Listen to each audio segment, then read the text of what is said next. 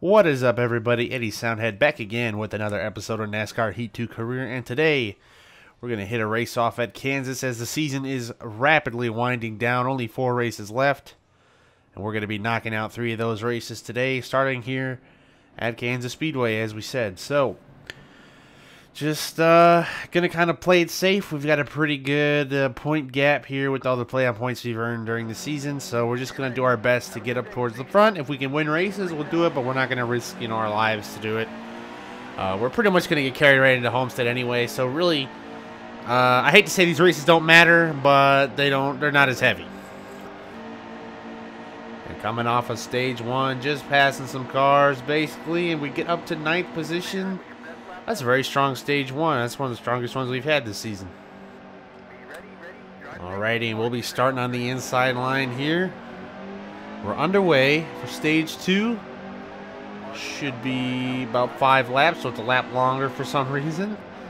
But, uh, yeah, just going to muscle our way to the front if we can. Ooh, lock the brakes up a little bit there going into turn one, but we're going to have a good run here and get back by some of these guys and go battle Cole Custer for the lead. I hit him too, and I can't. I'm just, I'm not going to get there. All right, fair play. Cole Custer's going to beat me to the line here for first. We'll come home second in the stage. Good run. Uh, now I believe we have to pit. All right, so Custer, uh, myself, and Ryan Reed uh, used our opportunity to pit because now we can make it to the end. However, nobody else uh, pitted in therefore they cannot make it to the end. So it's one of them situations where we just got to put as many cars between myself and Cole Custer and Ryan Reed, and we'll basically be in the lead. Like right now, we're basically fighting Cole Custer for the lead spot. So the more of these cars in front of us we pass, the better off we'll be in the long run for this race. As we already get to the inside of Lupton and Majeski. So uh, I'm just going to ride the high line if I can. And Custer shoots me out to the high side, but that might actually have been a good thing because that'll give me a bit better run. And uh, we'll take it to the end. And here come a lot of these guys here pitting. It looks like two are going to stay out, but that'll basically grant us the lead here within the next lap. And Brennan Poole got held up so much, he's going to fall back to us anyway. Byron leads, but he'll be pitting uh, this lap, it looks like. Ah, and just what I didn't want to see. Great. Alright, so I ended up pitting and taking two tires because I figured there's only four cars on the lead lap if I pit and I like having fresh tires uh, versus the rest of these guys. So we took a little bit of a gamble here, and it looks like it's already paying off because we're already inside of Cole Custer for the lead. We'll stick our nose out there for the lead of this race late. With only two laps to go, a two-lap shootout. On the backstretch, though, Cole Custer's going to fight back to my outside here.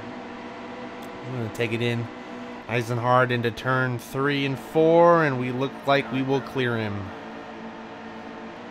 And that is going to be another win. I've lost track of how many wins we have at this point. It's too many is what is how many we have. Just too many.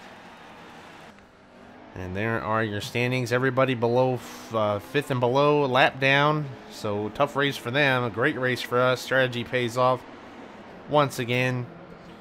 And just a solid race.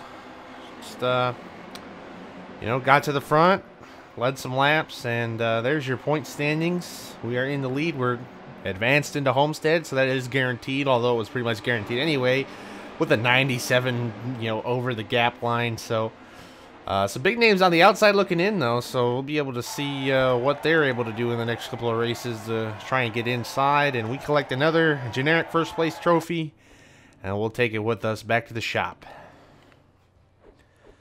It looks like next up well, first we'll have to pick a, an incentive contract. We'll take the normal one. Next race is at Texas, so uh, we'll jump into that one right now. And here at Texas Motor Speedway. So I had a couple of runs now at Texas and uh, had some strong, strong races here. So hoping for another one of those. Just keeping it clean. Should be all right. So we'll go ahead and jump right into the race. We are underway. So, should be a solid race here and just to do the same thing we did in Kansas. Just got to get to the front, pass as many cars as you can as early as possible, but uh, got to keep it clean too. And looks like we'll get, well, Hemric on the outside there, but we'll come home 20th in stage one. Alright, so uh, decent stage one. Didn't quite get as much uh, ground as I would have liked to, but up into 20th about mid-pack, so should be a uh, decent head start into stage two now. Just got to get up to the front. Three wide here, uncomfortable with Reddick's just going to rub me up there. And Reddick apparently not able to hold his line. You freaking idiot. Oh, and he's gonna we're gonna slap, and that's the wall. And a crash on the front stretch. And the car is destroyed. Great. Alright, so that sucked. Uh, car got absolutely totaled, so I had to pit. Um, so back at phase zero, basically. Just gotta try and get back up to the front with little less time to do it. And a huge run on Joey Gase there, and I'm to run into him and spin him out. Just dumped him. Didn't even try. well, this race isn't exactly panning out how I would have liked it to, but we're back underway here in the final stage now. So, just to have to keep the wheels going in the right direction if we want to have a solid finish here. Back up to Reddick, who, and he's to block us, and we dumped him.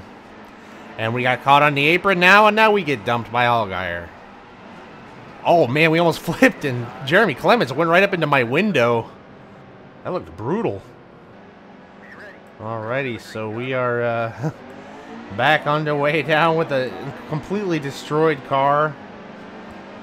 Uh, yeah, this is going to be interesting, that's for sure. Alright, well, three wide here. This is for the top five, which I'd very much like to have, as Ty Dillon just gets left in the dust. He just got stuck on that outside there. But we're clear uh, Brandon Jones there.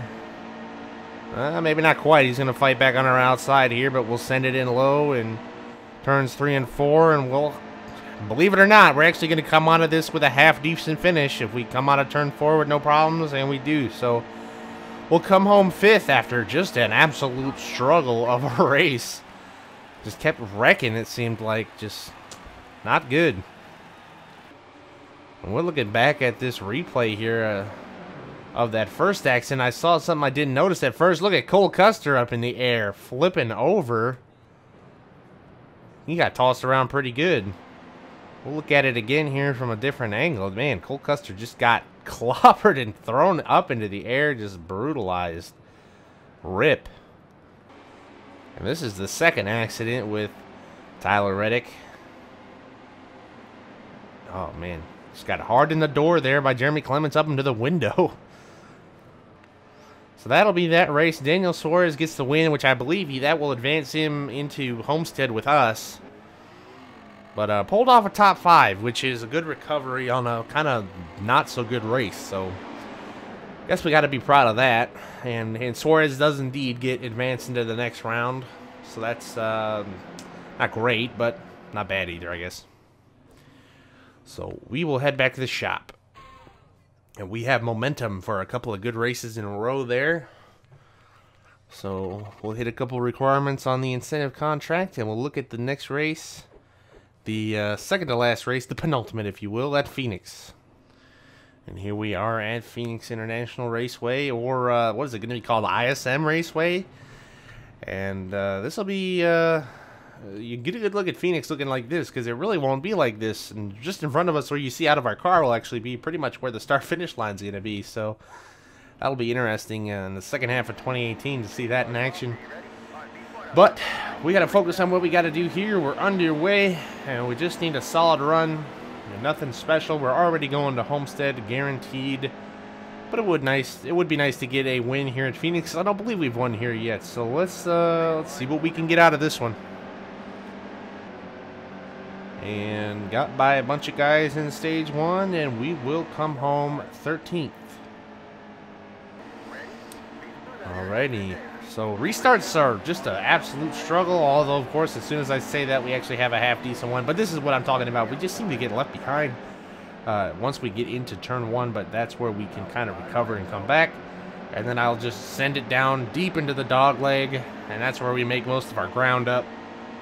So, driving over the uh, infield logos and whatnot, and send it in deep onto Tyler, uh, excuse me, Ty Dillon, rather. We got Blake Koch behind us as well. So, good run. Got up to William Byron here, but not quite going to catch him. Kind of stalled out here in fourth. But we will get home in stage two with fourth, so a very solid stage and set us up good for the final restart, hopefully. Alrighty, here and just got to get to that inside as soon as I can. Unfortunately, looks like I'm going to get kind of stuck out here. The restarts are just so bad here for whatever reason. I don't know, but getting stuck on the outside, I'm going to have to kind of crowd Blake Koch to try and get down to the bottom. Blake, please let me down. Thank you. Oh, I think he's spinning out behind us too. Yep. And, uh, yeah, that'll be a caution, unfortunately. So, maybe a little bit too aggressive there. All right, so not a great restart for me. I kind of wrecked Blake Koch there trying to get down the bottom, but this time we get down with a little bit less hassle involved. And that'll cost us a couple of positions there with the whole restart shenanigans and all that, but we still got a little bit of time to, to get some more spots and pass some more cars here, so we'll just do our best.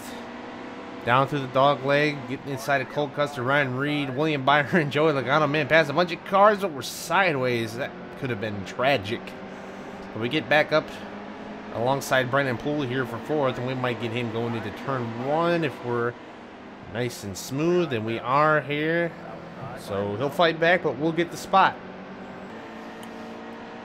All right, here clock's winding down. I'm going to send it in deep on Allgaier and Sadler, and I just tapped the back of Allgaier, and he's sideways, and he's slaying me, and he's going to go around behind us. Ugh, I mistimed that one pretty bad. I meant to just dive it underneath Allgaier, but didn't quite get it. Got more of his bumper than I did anything else, so tough break. And that might kind of seal the deal here with only two laps to go. Unfortunately, we probably won't be winning this race now because of that. But uh, we'll we'll give it a try here. We'll drive to the infield, dog leg, if you will. We'll send it in low on Brendan Gaughan and Elliott Sadler. That's extremely low. That's maybe too low.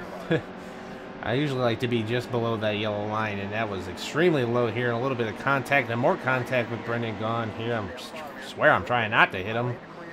But we get by him going into turn one for the final time here on the last lap, and I think Sadler's just a little bit too far out there. We'll see how this dog leg gives us a run. Not much, so I'm just going to send it in deep and uh, get up alongside of him here. Actually, we, we might get by him here. Uh, we do, man, in the last lap. Oh, man, we're going to rob Elliott Sadler of a win. Oh, no. Oh, man. So not the cleanest of passes, but hey, a, a win's a win, I guess. It could have been worse. So there we go. We steal one from Elliott Sadler in the final corner. That's a heartbreaker for him. And uh, tough, tough break for him. But we do get the win here at Phoenix. I believe that's our first one.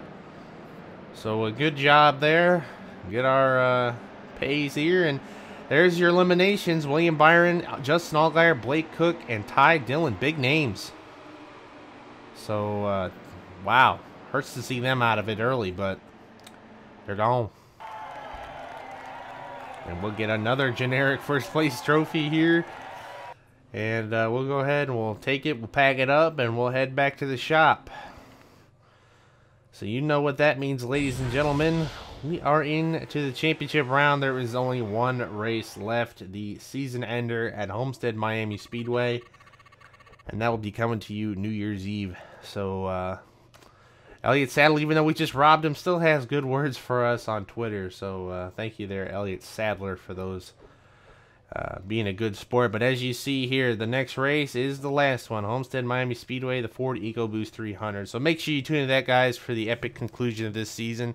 Thank you all so much for watching, as always, and I will see you guys in the next one.